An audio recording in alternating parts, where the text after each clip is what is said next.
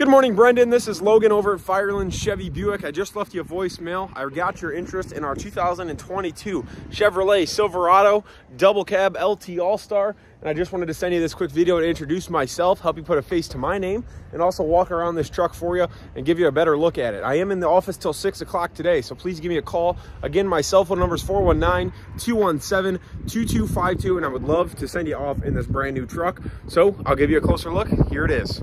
All right, so starting it off, you do have remote start, so you're gonna lock it twice, hold that little circle button in the bottom left, three to four seconds, it's gonna start up. This truck does have your 2.7 liter turbocharged engine, really, really impressive engine. It is the LT All-Star. You get the backup camera, you got the towing capabilities, really, really good fuel economy with that 2.7. This red hot looks very, very nice. And like I said, this truck is available. Something I haven't been able to say for a while because we haven't had too many new trucks. So you get about 20 miles per gallon average. You got power windows, locks, mirrors, driver's seat. You're gonna have cruise control, of course, only 13 miles on it. You do have the heated seat capability.